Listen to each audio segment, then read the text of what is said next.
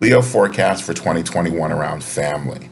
You love the good life and you enjoy the finer things, dear Leo, and there is no one you would rather shower these things upon than your family. You have the potential to be a fabulous provider, and you take pride in protecting, caring for, and lavishing your generosity upon those you love the most.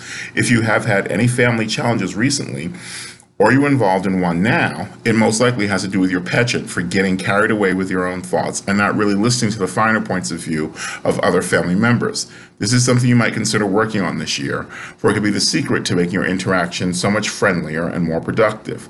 There could be a conflict with a family member this year that may seem irresolvable. It may have to do with stubbornness on the part of both of you, especially if the other person also happens to be a Leo.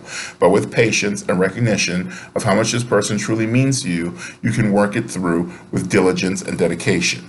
You also need to be careful this year about expecting too much from a certain person, probably a family member or maybe a very close friend.